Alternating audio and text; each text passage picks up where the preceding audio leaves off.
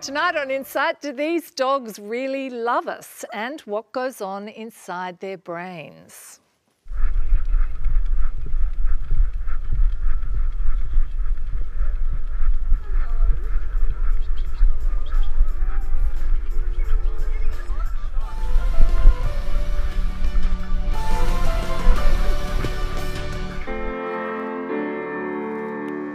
Welcome everybody and welcome too to all these uh, lovely pooches.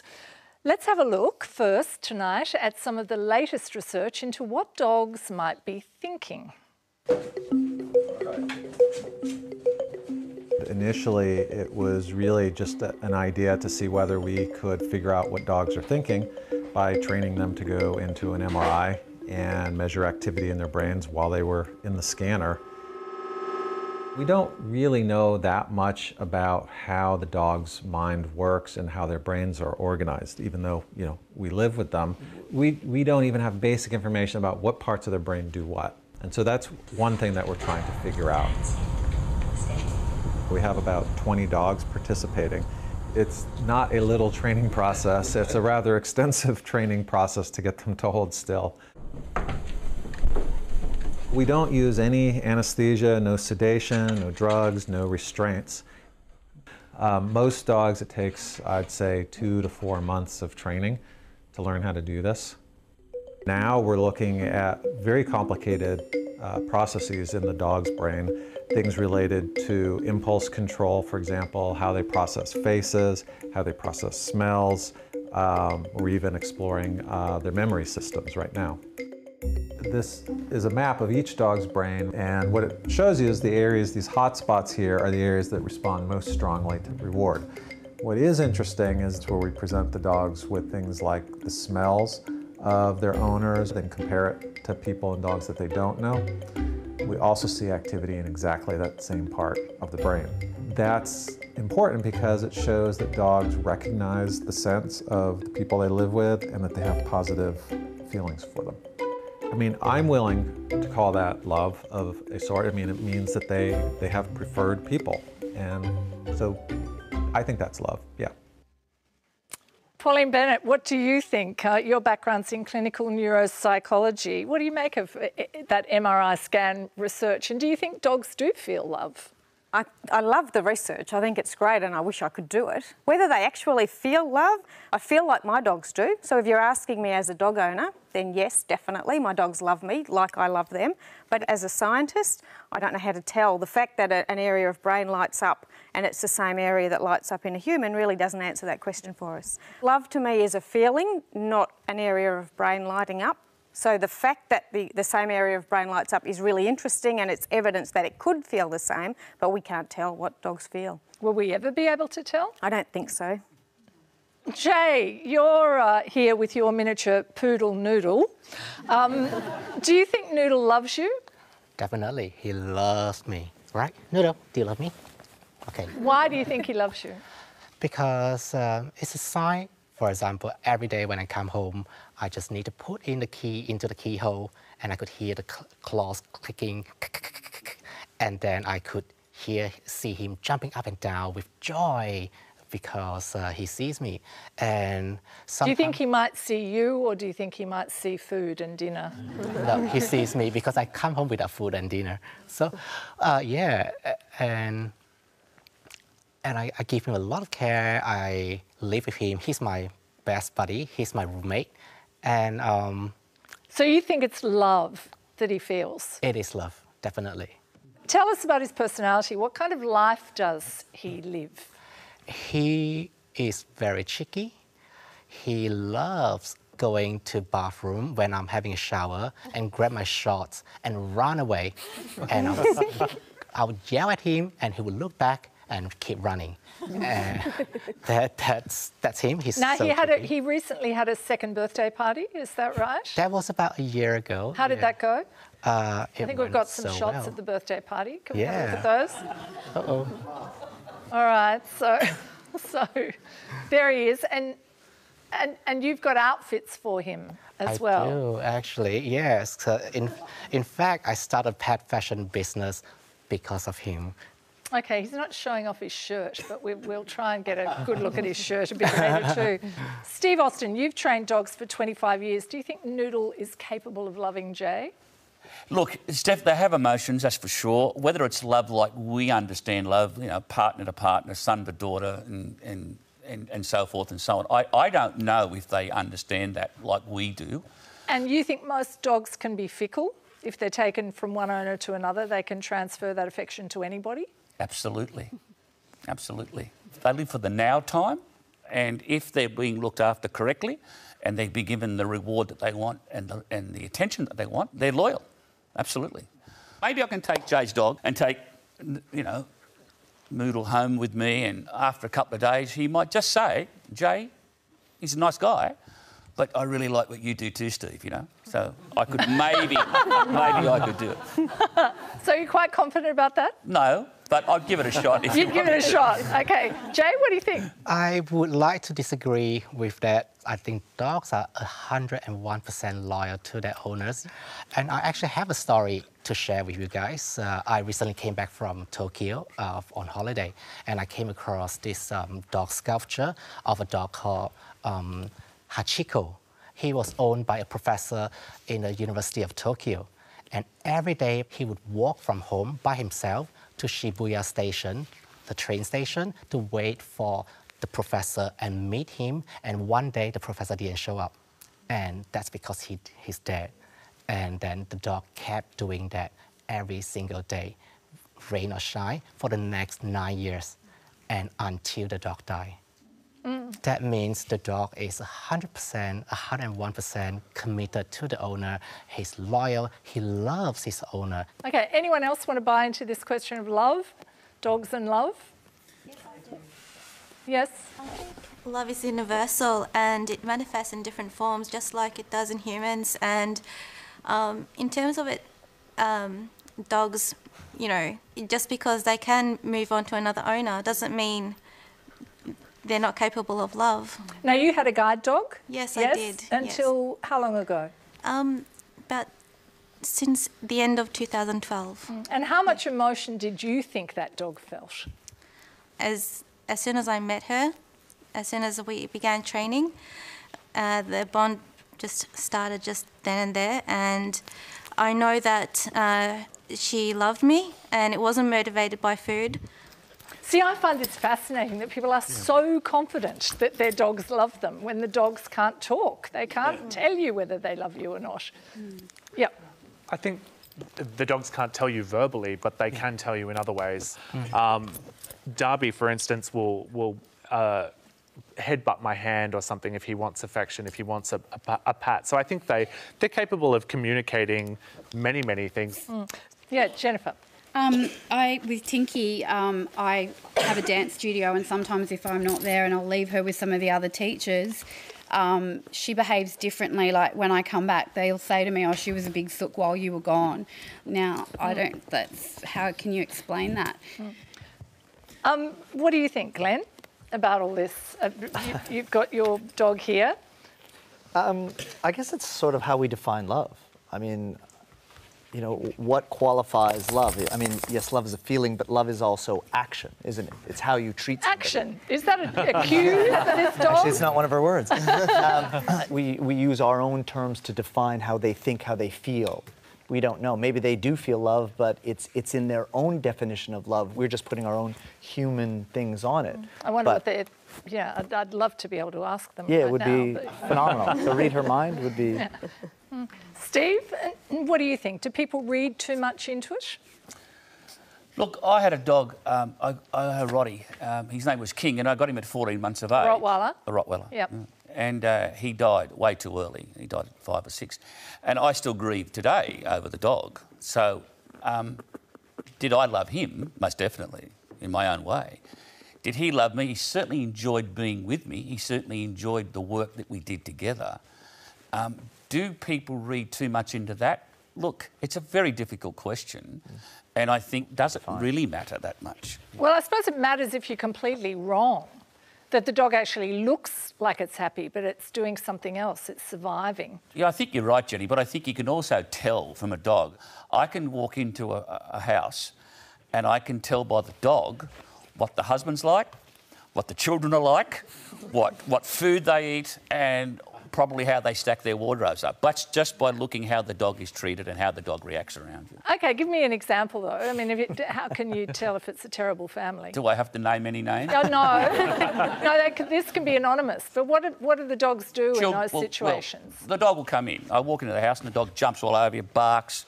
You know, the, the, the mum or the dad will say to the dog, get outside, get outside, stop it, stop it, stop it, stop it, stop it. And I can think, right, I wonder what the kids are like. Next minute, the kids come in, raining, raining, raving, jumping all over, you know. I want, go to bed, stop it, go to bed, stop it. And they treat the kids exactly the same as the dog. And the dog picks up on all those things as well. So you can really tell quite easily. Paul, um, you work mustering cattle. You've brought Kimmy along uh, with you tonight. What do you think about all this? Yeah, I tend to agree with Steve.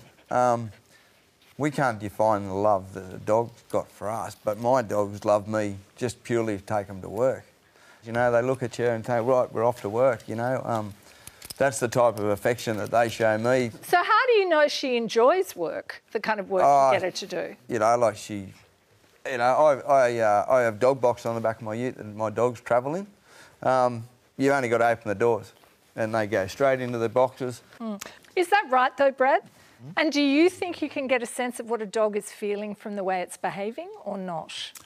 For sure. I mean, looking at behaviours, you know, the, the, the ear position, the tail position, that they, you, you can tell when they're fearful, when they're, um, when they're happy. Uh, you know, this whole greeting thing when people come home and the, the dog's happy to see you, that's what they do, you know, in the wild. Canids do that. They greet and they lick the muzzle of the, of the, uh, of the parents. Um, to you know to regurgitate and get food. That's that's just some of these behaviours are transferred. So they're replicating some of the wild in the wild behaviour. Absolutely, yeah, yeah. okay. Um, Robin, you're here with your schnoodle Bonnie. Uh, what do you think about this idea of emotions with Bonnie? Look at Bonnie. She's fast asleep. she's just, she's quite a picture there. Um, what do you think about the idea of emotions with her? Oh, look, she's she gets excited to go to work. We go out twice a week to volunteer, and as we go to the car, she does 360s and sometimes little squeaks and things because she's excited to go to work. Um, Now, she works as a therapy dog. What does that mean? What does she do? we go to the Westmead Children's Hospital one day a week, and we go to a mental health drop-in unit the, uh, on another day of the week. And she just gives cuddles. She gives. Um, she just lets anyone pat her. Um, at the hospital, when I get her to dance, and she does a bunny hop dance out of the ward, everybody loves it. It just breaks up the ward. It cracks up the nurses, and it just brings that little lift. And she does that just for a treat. So, and Would she do all of that without the treats, do you think? she will dance. Well, at home I do it um, without a treat, but in the hospital I feel that she needs the reward because she is working and she knows she's working because she's got her ribbons and her bandana on. So, Brad, what do you think about the idea of love? Dogs loving their owners. I think we uh, we have to be cautious about how we we uh, think about other non-human animals and the way they think and, and feel about things. And this idea of anthropomorphism, this uh, placing human emotions. dogs. Yeah, I think as scientists, we, we definitely try and avoid um, and be as objective as we can. So, what do you think when you see Noodle in his shirt, in his dress shirt tonight? Then, I think I think dogs are so successful is because they're highly social and they basically fit in to whatever lifestyle, whatever human niche that they're in. Jade, are you dressing um, your dog Noodle Mm-hmm. for you or for him? It could be for me, I have to say. but, uh, well, in the winter, it's definitely for him because it's a bit cold outside. But this is a light white shirt, Jay. I'm dressing him up today because he's on your show. It's a special occasion. Okay. Um, I also got to say, Jenny, that dogs are good human manipulators. They basically have nothing else better to do all day than observe our behaviours. So they know our nuances. They know how to basically manipulate us. It means it means they're good survivalists. That they, uh, they this human niche uh, that they're in, they've, they've mastered it. so they could look at you and go, that person wants me to love them, and I'll get what I want if I do that. So I might just try that. Yep. Yep. I you think think so. they can be that ruthless in their in their thinking about what they're doing? I, I think they're I think they're cleverer than you think about reading cues. So, and if you think they're manipulating people, Yeah. do you find yourself slightly bemused by people actually thinking that you know they're feeling something else? Not really bemused, but I, I think the, the trouble is everybody's a, a dog expert. Anyone who's got a dog uh, thinks they know all about dogs, and uh, very, people are very opinionated about their, their, about dog behaviour. Um, Glenn, your dog, the wonderfully named Fatas, um, is here. Now let's have a look at what happened when you discovered a whole chicken had disappeared from your kitchen bench at home. Come here. Come here.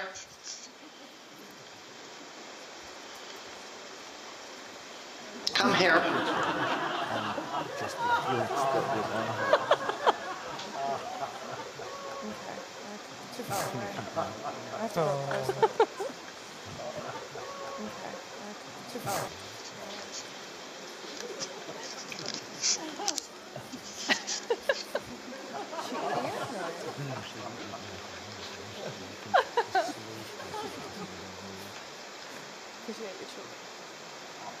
What is that? What is that? What is that? Huh? Did you eat that? Did you eat that? Come here. Come here.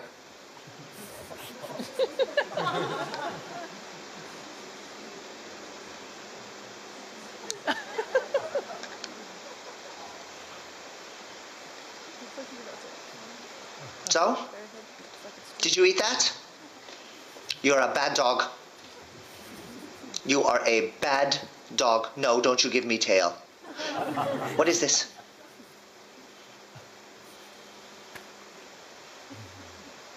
Bad dog. Go on. Go.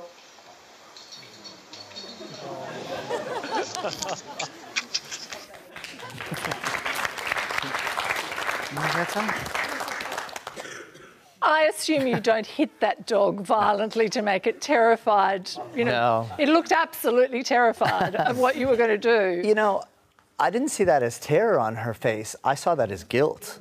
that, that, that to me was guilt all over. Why do you think it's guilt? Um, well, I just, I mean, if we take a human emotion and put it on the dog or, or a, a child where they get that sort of sheepish, like I've done wrong type of thing, that's what I associated. That, that's my frame of reference for that emotion. Liz, So- you're a vet, you research dogs. Is Glenn's dog creeping into the kitchen for tasks? Is it guilt or is it something else?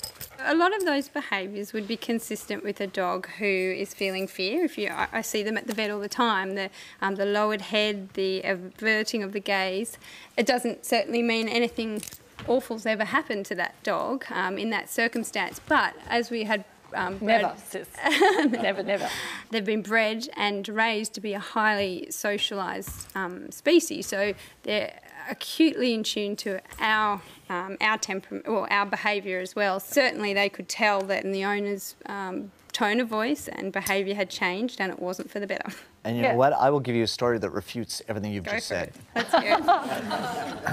I lived in Cape Town, South Africa, and in the middle of, uh, you know, around maybe 11 o'clock at night or something, there was a noise downstairs. And so I, you know, made my way down, and it sounded like glass breaking. And I thought, oh, here we go. And suddenly uh, the stairs sort of did that. And as I was coming down, she was suddenly beside me, and I said to her, "Well, go, go, you go first. You know, you can attack. You know, you, I'm not going. You go, you go. And so I'm inching around, and in the distance, I see a colander that I had left, and she knocked it over, and it hit the floor. Now, as far as I was concerned, I wasn't mad at her, yet she wouldn't go. That to me says she knew what she had done was wrong. Did she not know that you were extremely anxious mm. about something, and she was thinking, "Holy moly, there's something bad going on down there." He says so. You may be right, but I feel that that Yeah. kind of was not in that situation where I called her in and I had that tone where, hey, the other one, I was like, hey, yeah, well, you're a great dog. You go first. You go. I mean, really, they're motivated to survive, to acquire food, safety, um, shelter, and all those things that um, that means they'll be a successful species, and that includes um, being surrounded by by um, other beings that that and not getting into conflict with them. Steve, what did you want to say about this guilt idea? It was quite interesting. I, I, I don't think it was guilt at all, but I agree with Liz ex- exactly. It's, it's, the, it's the tenseness, the, up, the uptight, and all the rest, of it, and the dog picks it up, and then we misread that by thinking it's happiness or guilt or, or this or that. But it's actually what we do. Okay, Kirsty, um, you're a specialist in animal behaviour. Do you think that dogs uh, feel emotions? And what about negative emotions like spite or, you know, meanness or? Oh, I think dogs are more wonderful than that. I like to think that dogs don't uh, don't feel spite. I don't think they're vindictive. I think they live for the moment. Um, that clip certainly showed to me a dog that was very apprehensive and concerned, and I think they do feel those negative emotions. We certainly see dogs that have anxiety disorders. It's very very common. So, um, but whether they're the same as ours, I don't know. Do you treat Noodle like a human? Yes, sort of. Um, I see him like my son, because I I would never have a human children myself, uh, and yes, I do. Day to day means there's lots of responsibility, there's lots of um, worries when he's sick, and there's lots of joy when um, you come home to, uh, to him. Kirsty, do you think it's all right to treat dogs like humans? I think as long as we respect them and look after them and look after their physical and mental needs, I don't think it matters whether we call them as humans or dogs or, you know, fur babies or whatever. I mean, it's all about the individual relationships, uh, and that's the important thing. So where do you draw the line with that? Is there a line? Well, I think there probably is, but I'm not sure that I've seen it as such. I saw people that, uh, you know, painted their dogs' nails different colours. Now, I wouldn't do that for my dogs, but at the end of the day, if it doesn't harm the dog physically or mentally, there's probably no issue with that. Paul, would you pop a shirt on Kimmy? No, I don't think so. No, no she did How do you feel about that? I mean, sitting next to somebody who, tr- who says their dog's like a human and he's got a dress shirt on. Everybody's got their own opinion, I suppose. Just doesn't float my boat. So you, so you have a different view of what a dog is? Like, Yeah, they're all my work companions. Um, yeah, I treat all my dogs the same, um, which I run. ni- I've got nine work dogs. I can sit around at uh, Smoko lunchtime, and they sit around and, you know, get a crust of bread or whatever sort of thing, and it's just yeah. When you're out by yourself out in the paddock somewhere, they're the only people to talk to. Mesa, having listened to all of this, I mean, how do you view your guide dog? I just remember that moment going, I don't have to call dad to pick me up. Like, I can, I can just hop on the bus and head home. And, and I, I, was, I did have that independence before, but not as much. So after I did the training, my life just shifted. Um, and then a year later, I went off to New York with her, me and her, and I just said bye bye Melbourne. And yeah, and I, that's how I feel about my dog.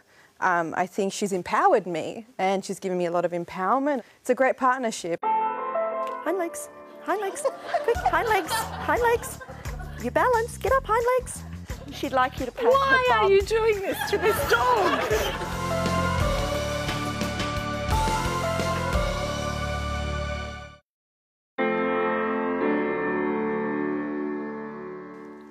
Kelly, you're a dog breeder and trainer, and you've brought your border collies Flynn and Sketch along. Um, they're pretty smart border collies. What can these two do? They can do quite a lot of things, so let's see a couple of little things for them. Can you sit pretty? You are very pretty. You want to pretty again? Good boy. Have you been bad? You've been very bad. You've been very, very. He's very guilty. Very guilty. Can you drop for me? Flynn, drop. Good boy. You're bad down there as well? You are? Good boy. Can you cross your legs? You're very good. Okay, up. Can you spin? Can you spin? Can you spin? Good boy. Flynn, drop. Drop. Can you scratch? You're going to lay on your back, are you? I wouldn't lay on your back. Stay. Hind leg. Flynn. You're going to hide your face again.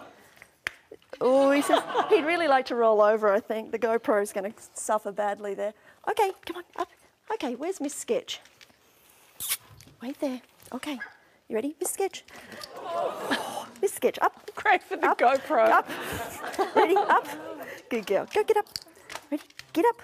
Good girlie. Well done. Flynn, can you drop? Flynn, drop. Just drop and stay. Sketchy. You ready? I need a volunteer. that was very quick. Hand up first. Come on in. Okay. Can you stand nice and still there for me? Yes. Okay, sketch. You ready? Sketch. Hind legs. Hind legs. Hind legs. Quick. Hind legs. Hind legs. You balance. Get up. Hind legs. Hind legs. Stay. Hind legs. Stay. She'd like you to pat Why her bum. are you doing this to this dog? I don't think I'm doing What- anything. what- what point does this have? That's what I want to know. I think I think tricks don't have a point. You know, tricks just enhance your bond with your dog, gives them something to think about. We get a lot of natural behaviours. Oh, she says I like that one. I'm going to come and back onto you again. Thank It you is a for very that. unusual move. I'm just wondering how it- you discovered it. How I in the first discovered it, I guess um, we like to get the dogs to think for themselves. So, can I have a front paw too? So, I guess it all started by teaching her that she actually has a back end. Um, a lot of dogs don't realise they have a back end and a front paw. Thank you. So, once we did that, we just sort of explored. But what do you think all of this is like for the dog? Um, as you can see, they like to learn things. I mean, they obviously get rewarded They like for what's it. in your hand. They That's- love it. They love it. Um, I don't think they would do it if they didn't enjoy doing it. Would You they do it if you didn't have those treats in your hand? Um, I think um, they wouldn't do it as enthusiastically, but for a dog to put its hind legs up on somebody, you can't force or make them do that. They've got to really want to do that. How smart do you think they are? I think they are very, very smart. Um, I think some are going to be smarter than others, but I definitely think they're all very, very smart. So, do you define this, what they're doing here, as intelligence? What do you define it as? Um, I guess it is intelligence. Um, it's willingness. Um, it's keenness to be with their person. Um, but yeah, definitely. Yeah. Absolutely. Okay, take a seat again. Excellent. With these two round of applause for the dogs. Dogs. Okay.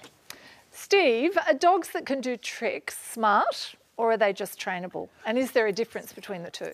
I think some dogs are, are more easier to train than others, and I think what Kelly said, the willingness of a dog and the wanting of the dog to get a reward, I think can overshadow what a lot of people think is intelligence. Um, intelligence is um, something that the dog understands and has a reason and can reason things out themselves, and then there's trainability. Okay. And intelligent dogs, I find, are very difficult to train. Why? Oh, because um, example would be uh, a poodle, for example. You throw you throw a, a ball into some cold water, big pond, and the poodle looks at it and says, "Listen, you threw it, you go and get it." Where the Labrador goes, "Okay, I'm in there." So, which one is the most intelligent is debatable, you know. But the Labrador is certainly much more trainable. Okay, so is it easier to train a dumb dog? Oh, absolutely. Absolutely. I, I, I, not so much a dumb dog, but a dog that's Sorry to all dogs. a dog that's really wasn't appropriate on this program to say that. Yeah. A dog that's very willing to learn. I mean, the Border Collie, um, we have one at home, and they are a magnificent dog. And all these dogs, you know, the, particularly the Border Collie, and you see it with the sheepdogs and, and Kelly's dogs, they, they've got a very strong willingness to want to do something for you. And I think that's the key. So is that more a personality thing than I a think smartness so. Yeah, thing? it's genetics, it's environment. And um, I just wonder how you work out for yourself whether a dog's smart or not. I'll go to a pound and I'll get an 18 month old dog out of the pound, a labby or a labby cross or something. I'll hold and I'll bounce the ball around. If the dog's really interested in a ball or a game, I'll take the dog out. I'll throw the ball into some long grass. I'll hold the dog for five seconds. Let him go, he'll go and get it. Then I hold the ball, throw the ball again, hold him back for 10 seconds. If I can hold a dog for 30 seconds and he'll still go out and find that ball in long grass, he's in the truck and he's coming home with me. You've actually trained chickens to do things just to prove that it's not just about smart dogs doing things. So I got a heap of chickens, hundreds of chickens, and uh, training the dogs not to hurt them or go near them and, and still find the rabbit odour, which we had to take down to Antarctica. The I had a particular couple of chickens, and I thought I'll, I'll just try this as, a, as, something to do. And, and I tried. I trained a, dog, uh, a chicken to to play the piano, and her name was Elizabeth, and she played the piano really, really well.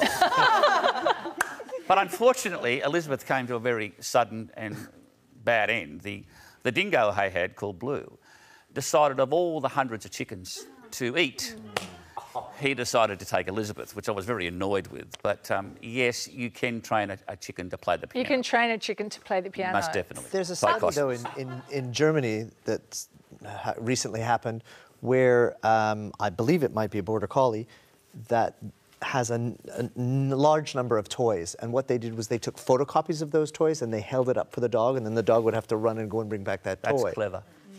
That's so, very clever. Mm. I'd like to see that. I that's think not that's... something a chicken could do, I bet. well, we'll never know with Elizabeth, Jenny. Yeah. Are some dogs breeds more intelligent than others? Some dogs are more others? trainable than breeds are more trainable than others. Siberian Huskies, Malamutes, uh, hound groups tend to be a little bit more independent, and uh, border collies, herding dogs, and gun dogs tend to want to work with us. Mm. Ryan, you've got three dogs. Uh, you've got Bella, a Tibetan Spaniel, Darby, a Chihuahua cross Pomeranian who's here beside, beside yes. you, and uh, a beagle called Harley yes. at home. The other two are at home. Do you rank them in terms of intelligence or? Uh, look, absolutely, I do. I think. Um, they, they have to have some sort of level of intelligence to be able to perform anything in the first place. But I do think the reward plays a large part in, in getting them to, to do things. So I, obviously, with all of my dogs, they all respond to food. But Harley um, particularly loves food, but you can also get her to do things like sit and drop without the food as well. But the enthusiasm may not be there, and the willingness to keep going on and repeating that activity will wane unless there is a food reward mm. there for her. Mesa, what do you think about how smart your dog is? And I just wonder how much of her judgment you rely on rather than the things that you've taught her. Crossing a street is probably a good example. Crossing a street, there is no ticker lights, there's no traffic lights. So we look at the movement of the people, and sometimes when the tram is going past, I'm like, okay, there's there's no oncoming traffic, and say, okay, forward, and then she refuses, and I'm like, why are you refusing to cross? It's because in guide dog training, they teach them car to becoming aware of it. Okay, so do you think she's doing that to protect herself or do you think she's doing it to protect you or both? She has to protect her right shoulder. So I'm part of her right shoulder and that's so just standard guide dog stuff. how smart do you stuff. think she is? Is it trainability or is it is it intelligence? Um, I think with guide dogs, they I personally I think they are intelligent. Neslihan, go ahead. Um, a very common thing that um, guide dog users would hear is, "Oh, the dog is so intelligent. You know, they, they can um, they know that they know when to cross the road. They know when uh, the light is red or green." Um, but I guess um, what people should remember is the handler is the pilot, whereas the dog is a navigator. So the handler does have to know um, where, like, where to go to, and the dog is basically getting um, the handler um, the safest way to get there. Mm. Brad, um, your research compares domestic dogs with dingoes. Mm. Which which is more intelligent? Which is smarter? I don't think that's fair to compare intelligence. I think they're different types of intelligence. So, I, so wild canids like dingoes and wolves have to solve their own problems. No one else is there to help them. Whereas domestic dogs have humans, and I think that dogs now rely really heavily on humans to solve all their problems for them. Sketch is starting to believe that I'm I'm her trainer. Is that, is Um, that, is that what's, what is going on here? I mean, this dog Sketch likes to work, and as far as she's concerned, you've I'm part of the work sen- circle. Yeah, Yep. you. Well, we've got just that been right. beside each other, and so yeah, her, she air snaps when she wants something. She's air snapping at yes, me. Yes, yeah? she's What- basically what saying. does that mean? That's basically saying, "Yo, hurry up, do something with me." What, like hurry up, she's get through the manipulating. show, or she's just- manipulating you. She's manipulating me. Oh yeah. Okay, sketch. She's They really manipulate. intimidating me. She's I got I know. She really is. She's she's looking Um, at me with this. They are amazing at manipulating you to get exactly what they want. Yeah. Okay. Um, Debbie, uh, you breed beagles, and we'll talk about tuba down here in in a moment. Um, You have six beagles at home. Is there a head of the pack at home? Definitely, yeah. Well, with beagles, they are definitely a pack animal, and um, in my experience, there, there's always a head of the pack, um, and then it basically works its way down the pack. Tuba, bless his little heart, was the leader of the pack. Okay, we'll, we'll, we'll get back to tuba. I, I will promise we'll get back to tuba. Um, Brad, has breeding made domestic dogs more or less smart than their predecessors? I, th- I think it, we're not selecting for problem solving ability, we're, we're selecting for trainability and uh, ability to be able to live, live um, in backyards and in households. I think that's, that's where breeding is, is, is going. Traditionally and in, in historically, we've been breeding dogs for working roles, so the you know herding or um, assisting humans. It's really about how dogs can help us. Okay, and we know that there's variation between breeds, but what about within a breed? Like, do you get within one breed of dog, can you get a really smart one and a really not so smart Yeah. one? I, I use the analogy that there's smart people and dumb people, and there's you know there's a there's a highly trainable or a good or a smart border collie and a, and a dumb border collie. Uh, Paul agrees with this, I think, yeah? and, the, and, I, and I think most of it comes down to temperament and personality. You're looking at this, aren't you, Liz? The personality aspect of dogs. Yeah, Yep. absolutely. And um, we've come a long way in defining personality, but I think we've got a way to go. And I think the example is the, the sheepdog that can be trained for a, um, a competition to do just as the owner says. And then there's the highly valuable of intelligence where they can be sent off to work stock and herd stock on their own and, and bring them back to a point. So um, it may turn out that the trainable dog's one that is more sociable. Um, and um, more attuned to people. It may turn out that the um, problem solving dog is a calmer dog that gives its more, itself more time to think and reason. So, um, the personality that is affecting their behaviour is, is definitely something we're working on. So, is that research just to improve the lives of people? Um, no, I think it's important for both the welfare of dogs and for the um, outcomes for the farmers too, in terms of saving them time and money, because we know that. Um, uh, uh, on average, about one in five dogs that uh, farmers acquire to do livestock livestock herding um, turn out to be um, ineffective or, or dismissed as um, not having the right behaviour for the job. So, if we can find out ways to make um, breeding the traits that farmers want more efficient and ways of um, managing and training the dogs to make their behaviour more desirable, then I think it's going to have positive welfare outcomes for the dogs and the farmers. Yep, Pauleen. If you pick a trait and you select on that basis, you end up getting more of that trait. And the problem we have with dogs is that we've focused on one thing, or, you know, and particularly with some of the purebred dogs, we focus on one thing and take our eyes off other things, and then other things start to go wrong. So we've got to be really careful, I think, in what we're breeding for, and, and particularly the personality work. We've done quite a lot of work with personality of pet dogs, and people don't necessarily need their dog to be intelligent. They want it. But a lot of people say they dog. want smart dogs. But some people are wrong about that. Well, they want a dog that, but their definition of smart is, you know, all these dogs here today that are sitting quietly in the middle of a crowded room with lights flashing on them.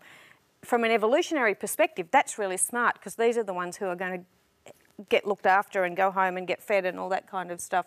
So, how you define smart, it It's a very interesting question. very much on where you're coming from. Yeah. We bred Tuba in 2003.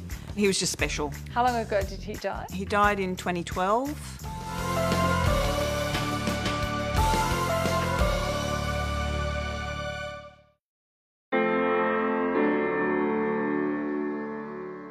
Debbie, tell us about Tuba. tuba. was well the love of my life, I guess, apart from my husband. but I think he was the love of his life too, apart from me. Um, we bred Tuba in 2003, um, and very early on we decided he was going to be one of the litter that we were going to keep. And um, we ran him on in the show ring, and he did very well. He became an Australian champion, um, our one and only homebred Australian champion dog. Um, and he was just special. Like anybody who owns dogs will tell you that they're all lovely, you love them all dearly, but there's always one special one. Um, and for us, it was Tuba. How long ago did he die? He died in 2012. Um, And how soon did you get the taxidermy done? oh, pretty well straight away. Yeah. Why? Well, we had decided a long time ago, years ago, that we were going to get him taxidermied when he died. We hoped it would be a lot longer. He was only eight, um, but it was a medical emergency and it happened. I mean, I'm not, I totally accept that it's something you really want to do, but I'm just fascinated by why you want to have. I mean, the dog is no longer alive, the dog is no longer participating in your.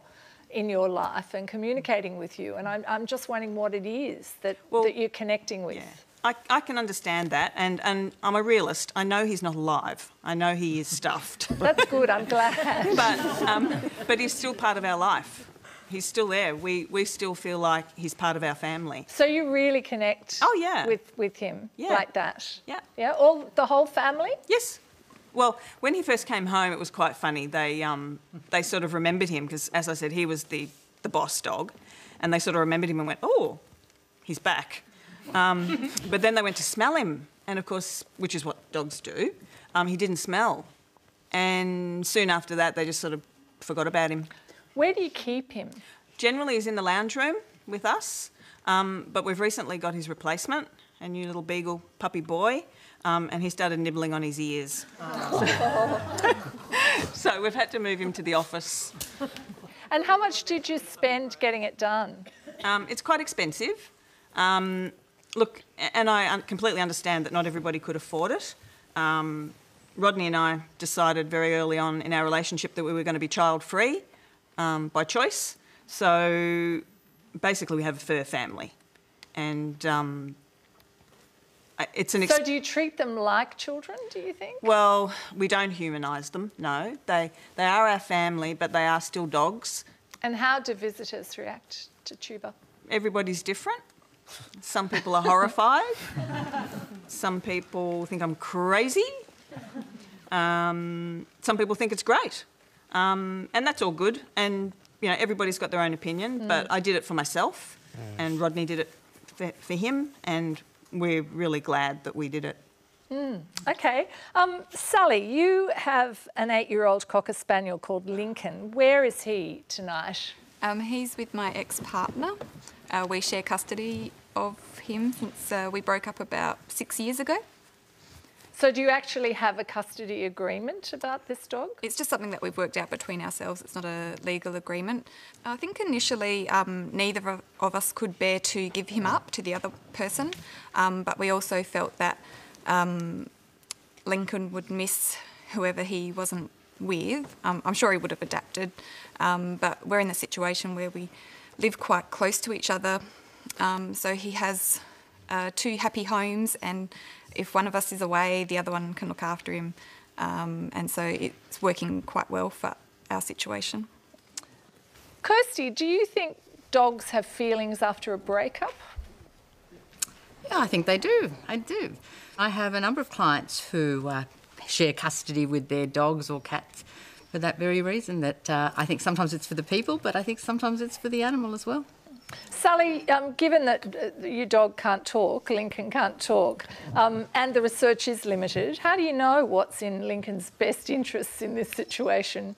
I guess we just make our judgments on his behaviour and how we interpret it. Um, but he seems to uh, enjoy seeing both of us and uh, being in both of the households. Mm. Um, Jay, uh, Noodle goes to doggy daycare. Yeah. What you- what's your sense of how he feels about Hmm. being dropped at doggy daycare? He loves doggy daycare. Most of doggy daycare, they have doggy cam, so you can log on on the computer, and you, I, I could see that him having so much fun running around with a bunch of other dogs, and and um, when I pick him up, he would want to drag me back into the doggy daycare. So that shows how much he enjoyed that. How do you assess whether your dogs are happy, Paul? Uh, just the attitude, I think. They're, um, you're just taking them to work and, um, What do you do if you think they're not happy? well, there's got to be a reason why they're not happy. Whether it's I've put too much pressure on them, um, whether there's, yeah, something wrong with them, you know. how do you work out when you put too much pressure on them? I mean, how, how alert are you to the negative side of their behaviour? Well, I just think it's years of experience. uh, being able to read the, a, a working dog, know when he's had enough or he's, or he's uh, feeling a bit of too much pressure. They might get a little bit more aggressive. Mm. Um, yeah, so you sort of, you know, it just comes with experience. Pauleen, you've got 16 dogs, is this right? I do, yes. I, I, on and off because I breed, so sometimes I have a litter of puppies and. Do you think they're all happy? I think so, yes. I think um, they do get all of my attention when I'm home, and I think that they do really appreciate that. And I also think we are quite good at reading our dogs. We also have to think that we've co evolved with these dogs, so we've been watching dogs and learning from dogs, and we are really good at telling whether they're happy or sad or scared. Mm. Nicola, you're a lawyer. Uh, your specialty is animal law. What legal rights do dogs have? Uh, I would say that currently they don't really have any legal rights. They are mere property at law.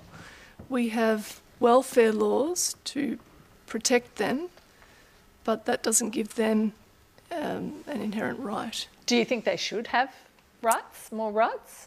Yes, I definitely Why? do.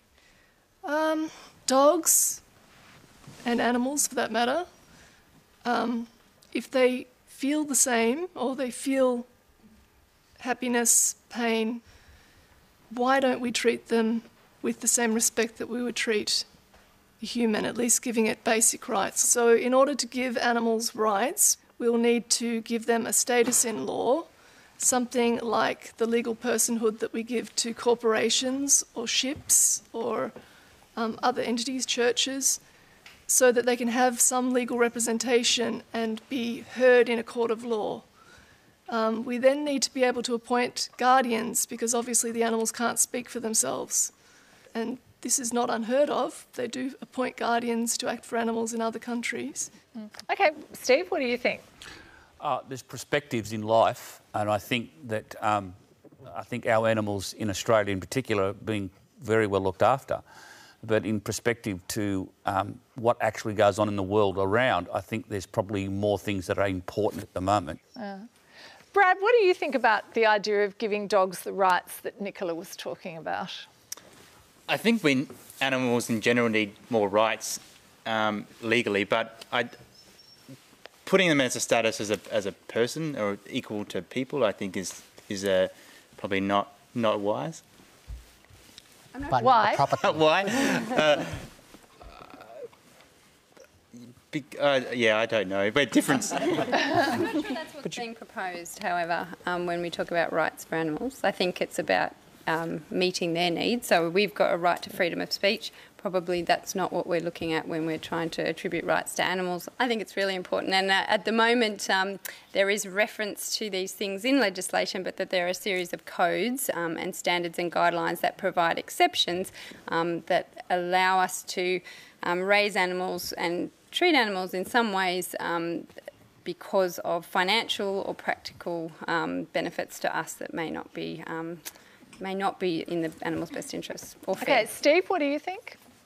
I mean, you said before that you thought that, you know, there were more important priorities, but when it's put like that, Oh, I agree wholeheartedly. I think uh, I think if you're going to have an animal, they need to be looked after in a physical sense, and that means exercise, a place to sleep that's out of wind and rain, a comfortable position. They need mental stimulation, and they do need attention. And if you can't have the time, the money, or the consequences to do that, you should not own a dog. Buy a goldfish maybe, but but but you shouldn't have a dog. And I agree wholeheartedly. What, what was said. in the end, are we ever going to know what a dog feels or what's best for it? Does it matter? Does, does it matter? Does it matter? So uh, uh, if we're getting something out of it, the dog's presumably happy and all of its physical needs are being met. Does it actually matter whether it's really love or whether we're just interpreting it as love, as long as everyone's happy? Okay, what do other people think? I, I think the dogs tell us stuff all the time, and I think possibly what we don't do is listen to the dog. Um, and if we watch what the dog is saying and work with it, we'll have the answers we need. Mm. What do you think? Do you think we're ever going to really know? We know it's technology. You know, anything's possible. I mean, I don't, I don't think it'll be around when that happens, but uh, it would be nice to know. But I think with the studies that are starting to come out, we're learning a tremendous amount that, that really they are further along that scale than perhaps porpoises and chimpanzees and everything else. And now that, you know, who knows what we'll find. You know? Brad, what do you think? Do you think we'll ever know? I don't think we ever will. And comparing species, I don't think it's fair to compare species on on an intelligence kind of level, um, because species are only as intelligent as their environment requires them to be, and so you can't you can't give a, a test to the same test to a to a chimpanzee and a dog. But isn't that the same argument that we're doing right now with humans and dogs and whether or not that they know love? We're using a human scale to measure whether a Yeah. dog has love. That's Absolutely. not fair. Yeah, it isn't. We're actually getting more inventive. But that's the only scale there is. Exactly. That's the only scale. Yeah, we well, have. but that's I mean that's how we view that we view the world through human eyes. Through human eyes, and I and I think that is going to always colour things. Mm-hmm. As scientists, we we try not to do that. Um, Try. Uh, that's the key Okay. Liz, final comment from you. I just believe that I think we need to stand up to the challenge of trying to find out what is important to dogs. And um, I think if we don't, there's a real chance of unnecessary suffering if we don't know what's best for their welfare. So we are getting more inventive about finding ways of asking the dog. So I think we can do it. Thank you very much for joining us tonight, everybody. And thanks to all the dogs, too, just in case you understand and can hear me and know what I'm trying to say. Um, they've been fabulous. They're all pooped, actually. Look at them, they're all completely exhausted. And that is all we have time for here tonight.